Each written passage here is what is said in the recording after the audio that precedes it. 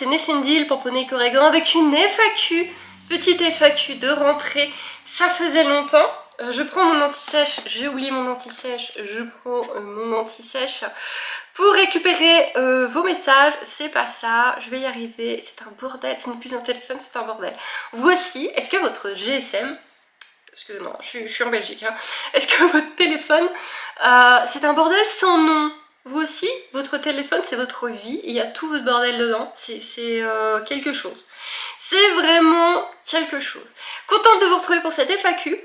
Alors, je, je tout de suite, et vous ne me l'avez pas posé, quasiment pas posé, et je vous en remercie, puisque vous devez vous en douter que je ne répondrai pas à cette question, qui est « Vas-tu garder Nausicaa ?» Je ne sais toujours pas. Voilà, ça c'est fait, c'est réglé, c'est bouclé, il y a la moitié des personnes qui ont quitté la vidéo.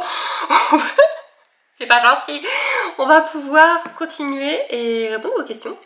Voilà, je suis pas sur le téléphone du coup, vu qu'il est là, je suis sur ma caméra qui fait de très belles images, mais qui a des fois le son qui... Donc j'espère que ça va aller. Euh, alors, j'ai Maureen DPT qui me demande « Peux-tu nous en dire plus sur la ferme pension et Hacienda, son fonctionnement, etc. » Alors moi, je suis dans une toute petite écurie euh, une toute petite écurie donc de... attendez, il faut que je compte les chevaux, je, vais faire dans l'ordre. Donc on a euh, Paloma, on a Orla, on a deux boxes vides, donc pas de chevaux. Euh, Ottawa, Bellino et. De l'autre côté on a Timmy, Hacienda, Chica et Lolo. On a donc actuellement 9 chevaux. On est 9 chevaux avec moins de propriétaires que ça. Enfin, si on compte les propriétaires, les demi-pensions, les aidants et tout ça, bon, on est quand même pas trop mal. Et donc on est dans une ferme. On est dans une ferme, la ferme d'un particulier. Euh, bon, qui a quand même toute la structure de déclarer, hein, bien sûr, mais c'est pas un professionnel du milieu équestre, hein, pas du tout, du tout. On est vraiment dans une ferme avec, euh, avec euh, des... Enfin, comme vous pouvez le constater sur mes vidéos, hein, on a les oies, on a les pans, les poules, les oies, il reste une pintade. Euh, il y a deux euh, glouglou là. Mince euh, Des dindons. Deux dindons. Je vais y arriver. les canards, je sais plus si je les ai dit. Enfin, il y a encore une vache, il y a des moutons. On est dans une ferme avec 80% des animaux en liberté. Il doit y avoir les cailles et les lapins qui sont pas en liberté. Tout là, c'est en liberté. Et euh, c'est très fun, c'est très très fun parce que d'un côté c'est très très fun parce que par exemple on n'a pas de tiques, on n'a pas de choses comme ça puisque c'est mangé par les animaux. D'un autre côté, faut pas avoir peur des animaux parce que forcément ça attire les corneilles, les renards, tout ce que tu veux bien et euh, bah, faut pas avoir peur de passer à côté d'une vache, il faut pas avoir peur de manger de, marcher dans de la fiente d'oie. Euh, faut aimer, faut aimer le côté euh, bordélique avec des animaux partout qui grouillent quoi. Faut aimer ça. Et donc comment ça se passe? Moi quand je suis arrivée c'était du 100%, vous vous débrouillez avec vos chevaux. Euh, euh, juste l'alimentation qui est donnée par le propriétaire, donc euh, le propriétaire des lieux. Donc il donne le foin et il donne nos seaux que nous préparons nous-mêmes. Et le reste on se débrouille. mais il a rajouté, puisque donc à cette époque-là il travaillait, maintenant il est retraité, et donc il a rajouté que euh, maintenant, on peut payer pour des aides supplémentaires. On peut payer pour que les box soient faits, on peut payer pour que les chevaux soient sortis, comme dans n'importe quelle pension. Moi, les pensions où j'étais avant, c'était le cas. On peut payer un supplément pour tout ça, ou pas si on n'en a pas envie. Moi, je paye aucun supplément. On peut prendre la nourriture aussi sur place. Moi, je prends ma propre nourriture. Surtout qu'Hacienda, en ce moment, est gestante, et pas gestante. Non, non, vous paniquez pas Elle est pas gestante, allaitante. Donc, je prends une alimentation spécifique pour jument allaitante. Et donc, euh, mais par contre, par exemple, euh, si vous partez en vacances, bah, vous pouvez soit vous vous arranger entre les personnes, ce que là tout le monde a fait à peu près cette année, on s'arrange entre nous, quand il y en a une qui part au week-end, quand il y en a une, alors je dis une parce que c'est beaucoup, euh, beaucoup des propriétaires féminins, mais on s'arrange entre nous. Quand il y en a une qui a besoin, je sais que moi si un jour je peux vraiment pas passer faire mes sauts, je peux demander, etc. On s'arrange énormément entre nous. moi je sors régulièrement les chevaux des autres. Vraiment, il y a beaucoup, beaucoup d'arrangements. On a une podologue, on essaie... Alors de temps en temps, moi j'en ai un autre, euh, Chica a un, podologue à part, un maréchal ferrand, ça m'est déjà arrivé de le prendre, mais en général j'essaie également de prendre la podologue, euh, parce que quand la podologue vient et se tape tous les chevaux, euh, nous on paie moins cher. Et puis c'est fun, tout le monde est là, ça fait une chouette après-midi. On a deux vétérinaires, pour également gérer un peu quand il y a un problème avec un cheval, que la propriétaire n'est pas là, mais soit on appelle toujours le propriétaire, ça peut arriver que ce soit quelqu'un d'autre qui gère. J'ai déjà géré une colique pour un cheval qui n'est pas à moi. voilà, on peut, on peut aider les autres qui sont au boulot, etc. On connaît les deux vétos, voilà, on sait un peu... voilà, tout le monde connaît les deux vétos, etc. Tout le monde a affaire avec. Et bah voilà, on fait nos sauts, on s'entraide, beaucoup beaucoup d'entraide. Euh, quand je suis arrivée, il y avait quand même pas mal d'organisations de promenades, etc. Maintenant, il y a quasiment plus personne qui monte. Donc c'est vrai qu'on n'organise plus grand chose, vraiment plus trop de choses. Mais euh, de temps en temps, on essaie quand même de se retrouver. Quand on se croise, on est content, on dit bonjour. Mais les gens passent à l'heure qu'ils veulent, s'occupent de leur cheval à l'heure qu'ils veulent. Euh, et c'est vraiment très très indépendant, on s'occupe de nos chevaux. Maintenant quand les chevaux ont besoin d'eau, besoin de quelque chose, on prévient le propriétaire de la ferme. Là j'ai vu que ça y est, Hacienda et Nausicaa avaient fini leur grosse boule de foin. J'ai mis un mot au propriétaire de la ferme en lui disant « peux-tu me remettre une boule de foin ?» Donc ça forcément c'est du supplément qu'on paye, on paye le foin, on le paye, mais c'est du foin qu'on paie euh, comptant, qu'on paie pas trop cher, puisque c'est le foin qui est fait dans les prairies euh, du propriétaire. Le propriétaire a plusieurs prairies qu'il garde pour le foin. C'est généralement des prairies qu'il loue à la ville ou qu'il loue à d'autres personnes. Il y en a plusieurs qui louent à, une autre personne qui refuse qu'on mette nos chevaux dessus. Euh, à la commune, c'est pareil en général, ce sont que des prairies euh, pour les moutons ou pour le foin qu'on peut récupérer malheureusement. Mais du coup, ça lui permet de nous faire du foin. On est bien content quand même. Même si on aimerait plus de prairies, on est bien content d'avoir du foin. Et donc du coup, bah, on paye vraiment le foin au prix euh, que ça le coûte de faire l'essence et tout ça avec les tracteurs. Là-dessus, on est vraiment plutôt pas mal. Euh, la paille, on ne la paye pas du tout. Elle est comprise avec euh, les box. Et euh, bah, de ce que j'ai pu voir, de plus endroits où j'ai pu aller, des endroits que j'ai pu visiter par curiosité, c'est à peu près le moins cher de la région. Ou, peut-être qu'il y en a d'autres que je connais pas, mais je commence à avoir fait quand même pas mal tout. Et puis bah moi, il est à 4 minutes à pied de chez moi, donc ça c'est... voilà, c'est pas parfait. On a toujours pas récupéré la piste. Il y a les clôtures encore à toujours à changer. C'est un peu petit, ça on va pas se mentir, l'endroit est un peu petit, mais euh, moi c'est à 5 minutes de chez moi, c'est extraordinaire. Et, euh, et un autre truc que je n'ai pas connu avant, c'est-à-dire que ton cheval casse un truc, Hacienda, Paloma, Kelly's, on sait ce que c'est, euh, ton cheval casse un truc, bah tu préviens, bah puis c'est réparé, tu te fais pas engueuler, on ne demande rien. Ça c'est la première fois que je le vis aussi, ça c'est très sympa quand t'as un cheval un peu... voilà, pour l'organisation de l'endroit. Claire Tétio me demande, vas-tu recommencer le travail avec Acinda plus régulièrement? Oui, oui, oui, oui, oui, bien sûr. Euh, Petite Roll reprend l'école lundi prochain. Non, au moment où vous regardez cette vidéo, elle a déjà repris l'école. Je l'enregistre à l'avance. Donc, euh, oui, euh, là, mon mari a repris le travail au moment où j'enregistre cette vidéo. Je suis toute seule avec Evie qui n'a pas très envie d'aller à la ferme, ça lui dit pas plus que ça. Voilà, moi à son âge, j'y aurais passé ma vie, mais bon, elle, ça lui dit pas plus que ça. Du coup, comme elle n'a que 7 ans, j'ai pas envie de la laisser longtemps toute seule, je passe vraiment vite fait. De toute façon, les juments sont dehors, de l'herbe, du foin. Je passe juste faire mes vérifier que tout va bien, que personne n'a fait de bêtises, mettre euh, les fils à mouche à Hacienda, la crème solaire s'il y a du soleil. Et euh, voilà, mais on va, oui, on va reprendre le travail, j'ai hâte. Hacienda est pas plus en demande que ça, elle est surtout en demande de gratouille, euh, gratouille, câlin et friandises et de la bouffe, hein. Nono est très en demande. Euh, au moment où vous regardez cette vidéo, elle doit avoir ses 3 mois. Elle est très très en demande. De contact, de choses, de elle s'ennuie. Ça va être une pouliche qui va très très facilement s'ennuyer. Donc oui, on va faire plein de choses. J'ai prévu plein de choses. Déjà vous montrer à quel point Nono c'est une grande avec le licol. C'est trop une grande.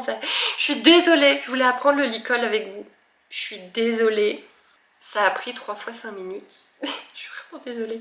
Je, donc, je vous avais vu dans un wiki vlog que je lui avais pris un alcool Shetland et je lui ai passé un peu euh, ici, je lui ai passé un petit peu, j'ai ok j'ai laissé et puis j'ai repassé un petit peu en donnant un bonbon à chaque fois, ok j'ai laissé et un matin je suis arrivée, trois jours après je suis arrivée, je me suis dit et euh, je, me, suis mis autour de son encolure, j'ai passé, j'ai passé, j'ai fermé, j'ai regardé, j'ai fait ah ouais merde, je l'aurais pas montré. Désolée. Euh, mais je vous montrerai comment elle le prend bien. Hein. Je peux même faire une vidéo sur comment apprendre au poulain, parce que je peux quand même vous montrer les étapes, même si elles sont acquises. Au moins, même on a un poulain très calme pour le faire. Mais euh, elle apprend une vitesse de dingue et elle est très très en demande de contact et de bêtises. Et on a plein d'autres choses, on a plein de bêtises à apprendre à Hacienda. et euh, on a plein de désensibilisation à faire avec Nono. Donc oui. Donc Malo 02, tu me demandes que vas-tu faire avec Hacienda pour la rentrée? Est-ce que tu vas refaire des tirages en vidéo sur la chaîne? Donc oui et oui. Donc euh, qu'est-ce que tu vas faire avec Hacienda? Bah, Hacienda, on va surtout tout doucement refaire la remise en forme, mais le problème c'est que la nono elle a 3 mois, elle va arriver à l'âge où elle va faire la plus grosse euh, pointe de croissance. Donc c'est le moment où Hacienda risque de perdre de l'état, donc c'est peut-être pas le moment de lui faire faire trop de sport quand même. Peut-être également un peu de désensibilisation parce qu'on n'en a pas fait depuis longtemps en même temps que sa fille. Et puis des petits tours, des petits tours simples, j'ai toujours la grimace d'autres petites choses à lui apprendre. Et Nono, désensibilisation à fond. Et oui, on va refaire des tirages, au moins un tirage par mois euh, offert sur la chaîne. Euh, je vais au moins vous faire en début de mois un tirage, on pourra varier un petit peu les cartes aussi. Euh, je peux vous faire un tirage lunaire, un tirage félin, un tirage animaux et je vous en ferai au moins un par mois. Nature Zoo Planète me demande Coucou Ness, euh, j'espère que tu vas bien. Comment va Piu Piu? Bonne fin de vacances. Donc, effectivement, quand je vous ai demandé les questions de la FAQ, on était encore un peu dans les périodes de vacances. Euh, donc ça va bien et Piu Piu va très bien. Piu Piu est le pire chieur de la planète parce qu'il a été élevé par ma fille dans sa chambre. Il a peur de rien ni de personne sauf des poules. Voilà. Donc ça va mieux, il arrive à côtoyer les poules, ça a mis super longtemps, mais j'ai vu des trucs, des scènes des fois, parce que de la cuisine on voit le poulailler, et je l'ai déjà vu euh, hurler. Je me suis dit, mais pourquoi il hurle comme ça? Et donc du coup je regarde, et il sort, parce que j'avais mis genre de la salade ou quoi, il sort pour picorer, et Caramel le regarde. Alors Caramel c'est la dominante du groupe, certes, mais elle l'a juste regardé. Il s'est mis à hurler, mais je vous jure, à hurler comme si on l'égorgeait et à rentrer en courant dans le poulailler. Caramel n'avait pas bougé une patte. Elle s'est demandé ce qui lui arrivait, elle s'est mis à picorer en mode... Donc euh, maintenant ça va mieux, il arrive à aller près d'elle. Avant il avait vraiment peur de s'approcher des autres poules. Donc il arrive à aller près des autres poules, mais euh, il se méfie, dès qu'il y en a une qui fait un mouvement brusque, il se barre en courant. Par contre, il est toujours collé au cochon, à, notre pauvre Peppa euh, aveugle. Et euh, il est tout le temps en train de kikiner le cochon, à être dans ses pattes et à être dans nos pattes. C'est une plaie, mais il est très mignon. Booba, Aria et Gizmo, tu me poses une super question. Comment on fait pour rentrer en contact avec un animal? Je peux pas te répondre dans une FAQ parce que ça va prendre 20 minutes. Il y a plein de techniques pour apprendre la communication animale, pour rentrer en communication animale. Il y a plein de techniques différentes. Il y a le fil d'argent, il y a l'endroit sacré, il y a plein de choses. Il faut d'abord travailler son intuition, il faut faire beaucoup de méditation pour commencer. Bien savoir euh, régler sa respiration, bien savoir se détendre euh, comme ça, faut vite que... Avant de commencer la communication intuitive et animale, il faut d'abord que tu sois capable de te gérer toi-même.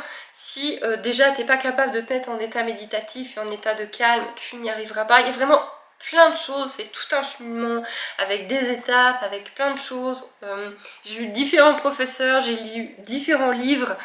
Et donc, il y a des techniques qui se retrouvent, il y a des personnes qui t'apprennent des techniques différentes, etc. Je suis en train d'apprendre tout ça sur le cercle, euh, n'oubliez pas le cercle Poney et Corrigan, où avec un petit abonnement de 6 euros par mois, vous pouvez apprendre plein de choses. Et ça, je suis en train de vous l'apprendre petit à petit, en sachant que vous pouvez aller voir toutes les anciennes vidéos, tous les anciens textes, toutes les anciennes images. Et euh, si vous voulez vous y retrouver plus facilement sur mon site, vraiment je vous mettre tous les liens sous la vidéo. Sur mon site, euh, vous avez, vous avez tous les liens sous la vidéo. Hein.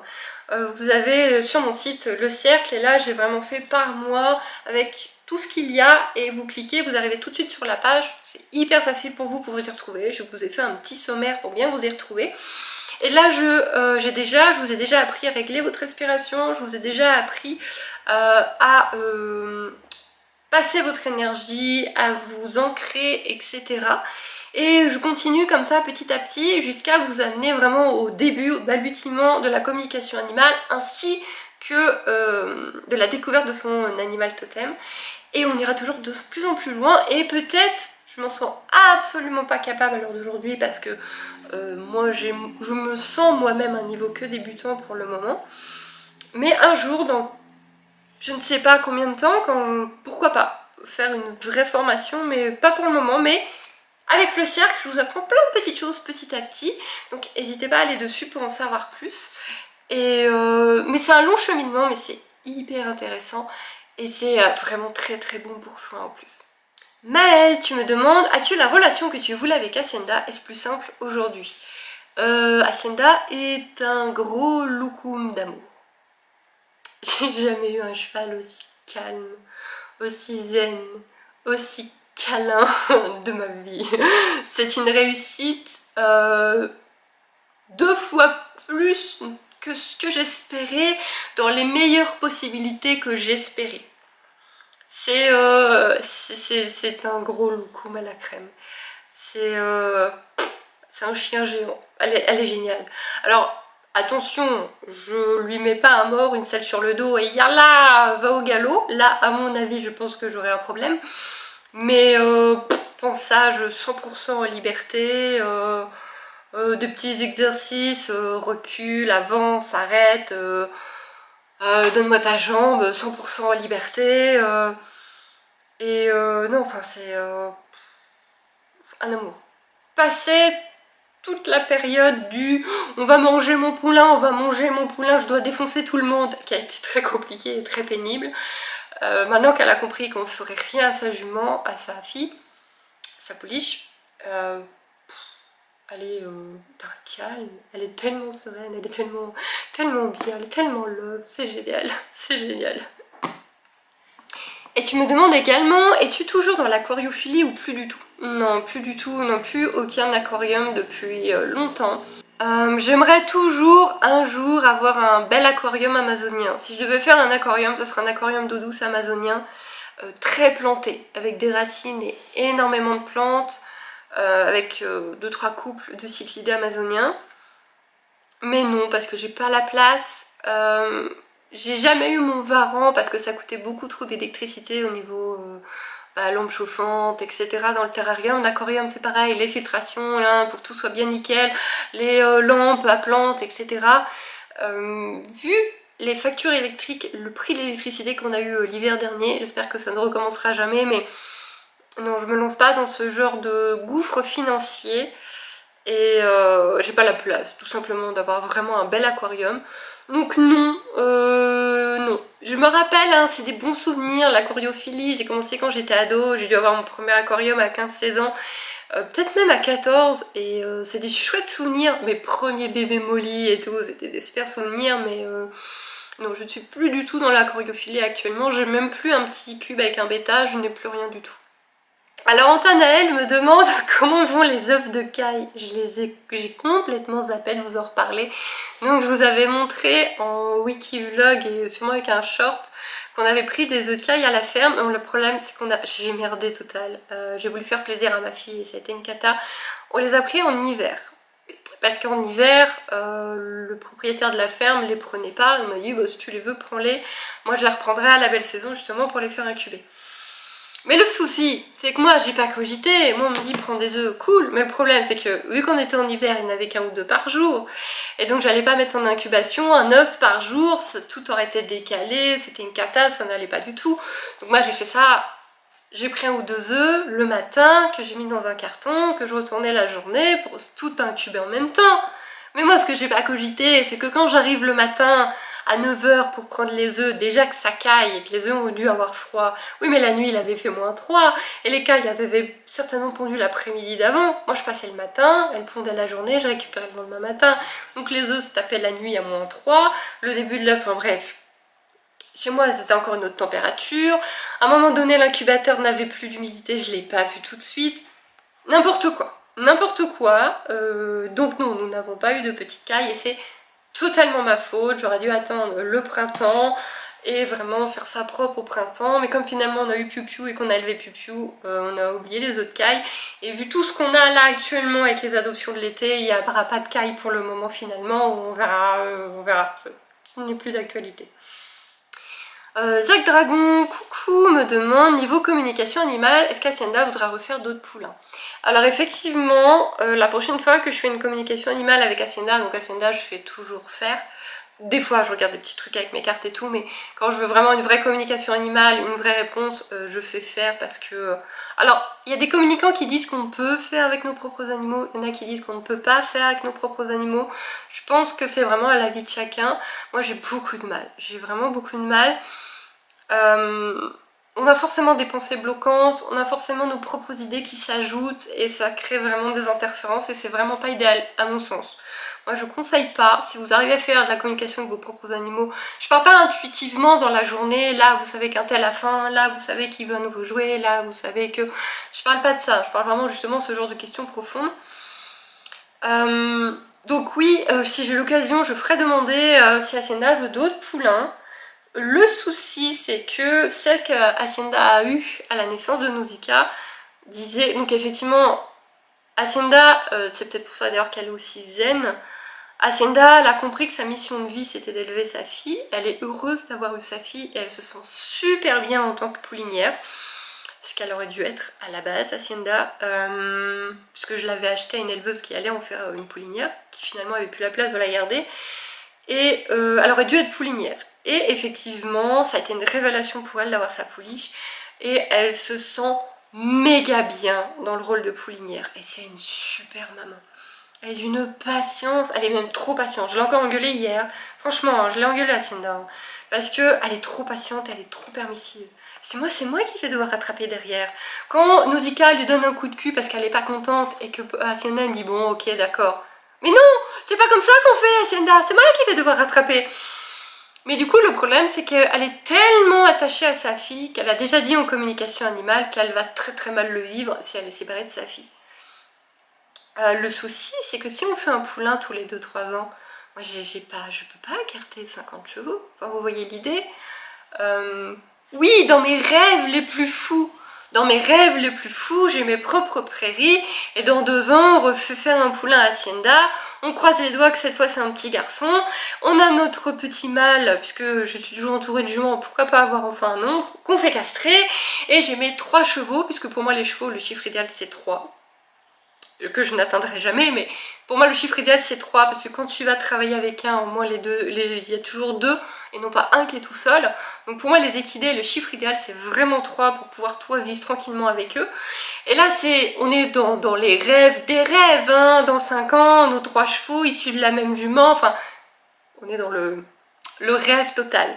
Le souci c'est euh, dans l'état actuel c'est impossible et donc faire faire des poulains Hacienda ça sera pour les vendre et là je pense que je rentrerai en gros conflit avec ma jument parce que ma jument adore être maman mais elle, elle adore être maman en mode euh, par contre c'est mes bébés quoi. Oui mais Hacienda euh, peut-être faut les vendre à un moment donné. Là, là je pense que ce sera deviendrait compliqué. Et euh, vous savez, ces juments qui pleurent pendant trois jours, ça, sera ça quoi. Et je suis pas sûre que mon petit cœur en soit capable. Euh, donc je lui... Effectivement, c'est une très bonne idée. Euh, je lui demanderai quand j'en aurai l'occasion. Mais j'ai peur que mentalement ce soit... C'est génial pour elle d'avoir des poulains, mais s'il y a séparation, je pense que c'est trop dur pour elle. Allez, on va prendre une... plein euh, d'autres super questions mais je vois que je suis déjà à 25 minutes et il faut pas faire trop long sinon euh, c'est un peu compliqué. On refera d'autres FAQ, on refera une autre FAQ dans pas longtemps parce que bah, il y a eu des nouveaux et tout donc ça va peut-être des questions donc je pense que je referai une FAQ dans un mois déjà parce que là il y a des questions auxquelles j'ai pas répondu et parce que je pense que dans un mois vous aurez déjà des nouvelles questions. Donc je vais répondre à cette dernière question. Euh, Bella Kito Black me demande comment as-tu ressenti que c'était la bonne jument? Donc concernant Hacienda, bah mon instinct en fait, euh, alors je, ne cherchais pas du tout à acheter un cheval à ce moment-là. Hein. Rappelons que j'étais qu'à quelques mois d'équitation western, que euh, je n'étais pas du tout apte à avoir mon propre cheval euh, et que j'ai fait, tout le monde m'a dit que du coup je ne devais pas acheter de cheval et que je l'ai fait quand même. Je ne suis pas un exemple, je ne suis vraiment pas un exemple parce qu'en plus dans le comble de la bêtise c'est que j'ai acheté mon cheval sur photo. Faites toujours un test vétérinaire. je suis vraiment pas l'exemple, vraiment pas. Maintenant, quand forcément étant western, j'étais sur des groupes western, etc. pour acheter mon premier matériel, avoir des infos et tout. Et de temps en temps, bah, il y avait des shows western avant. Euh, donc beaucoup de pentes, de quarter, Hacienda est une pente de lignée de quarter. Et donc j'ai vu l'annonce d'Hacienda passer avec sa photo, et j'ai vu sa photo, alors j'en voyais tous les jours hein, des annonces de show, hein. j'en voyais tous les jours, hein. jamais je me suis dit, si des fois je me suis dit, ah le jour où j'achèterai un cheval, comme ça ce serait cool. Mais jamais je me suis dit, oh, ça serait bien quand même là de l'acheter celui-là. Non. J'ai vu la photo d'Ascenda. Et c'était mon cheval. C'était mon cheval. Ça a vrillé dans ma tête. C'était mon cheval. Et c'était impossible de m'enlever ça de la tête. Euh, ça a duré un mois, euh, ça m'a pris un mois l'achat euh, d'Hacienda parce que c'est très compliqué, elle était toujours chez ses éleveurs mais elle appartenait à une autre personne qui l'avait laissée chez ses éleveurs depuis un an mais qui la vendait en Belgique. Mais elle était toujours en France, en bas de la France chez ses éleveurs. Et la personne la vendait mais le prix était trop élevé pour moi, il a fallu négocier. Mais comme elle avait d'autres personnes forcément elle espéré avoir trouvé des gens qui négocieraient pas le prix. Et puis moi de mon côté, euh, il a fallu qu'un box se libère et puis tout le monde me disait de pas la prendre. Et, euh, et euh, enfin, pendant un mois, il y a vraiment eu ce côté où on me disait de pas la prendre, où il y avait peu de chances que j'arrive à l'acheter parce que moi je devais négocier un peu le prix, il y avait d'autres personnes intéressées et puis de toute façon elle était dans le sud de la France. Donc si finalement l'éleveuse belge décidait euh, de la revendre directement en France et pas de la faire remonter en Belgique, bah, j'étais couillonnée. Enfin, c'était euh, compliqué. Euh, mais j'ai rien lâché. Personne. Parce que je suis pas non plus totalement débile. Je le suis un peu, mais pas totalement débile. J'ai pris énormément de renseignements. j'ai mené mon enquête, j'ai été discuter avec les éleveurs chez qui elle était toujours, j'ai énormément discuté avec ces éleveurs, avec ses naisseurs, euh, puisque c'est eux qui la connaissaient, puisque finalement l'éleveuse ne la connaissait pas. J'ai euh, pris énormément de renseignements autour de moi, j'ai discuté avec des connaissances qui étaient dans l'élevage, qui étaient dans les chevaux, j'ai pris énormément d'infos. Personne n'a réussi à me convaincre que c'était pas mon cheval. Et euh, j'ai fait le test ultime du dé, c'est débile, mais moi je joue comme ça. j'ai pris un, je crois que c'était, je sais plus si c'était un D12 ou un D20, et je me suis dit, je lance le dé, si c'est un 9, euh, c'était vraiment sur la fin.